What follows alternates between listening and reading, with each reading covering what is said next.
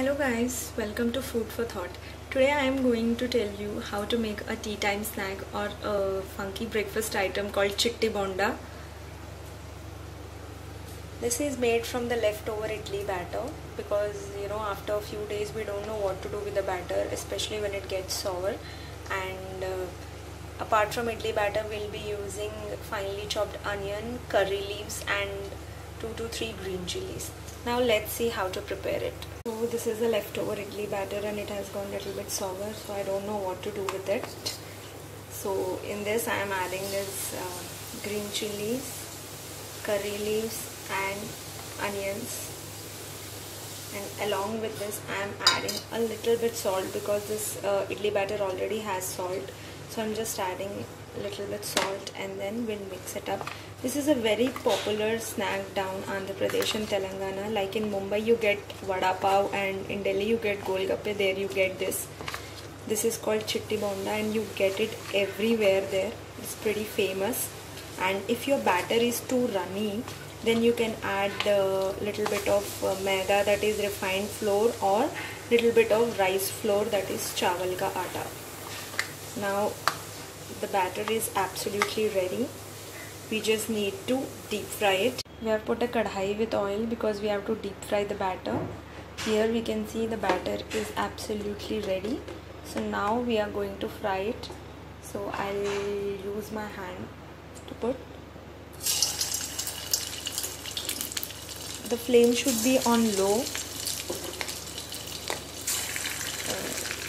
because uh, these bonda should be fried on the low flame the way we fry the matri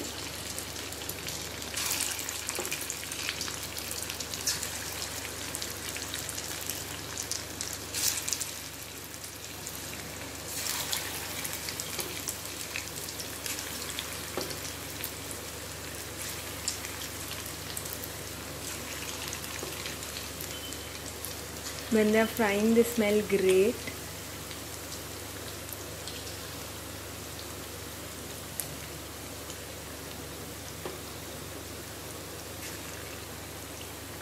now let it fry.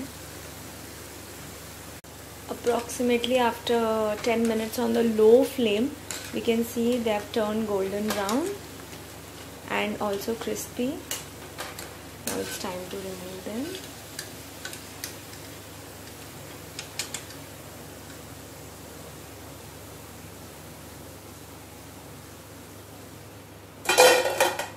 can hear the sound.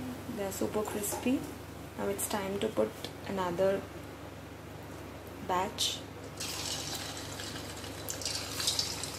These are very popular down the south as I told you and you can uh, serve it with uh, peanut chutney or coconut chutney or ketchup or you can just have it like this.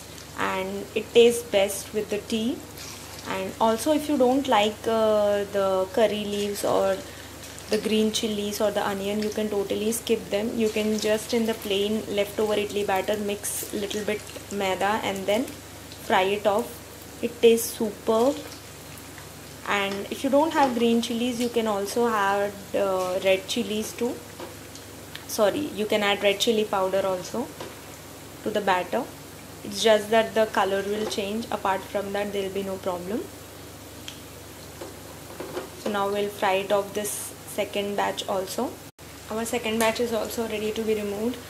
Make sure you fry it on the lowest flame because otherwise it won't cook through. So now we'll remove them.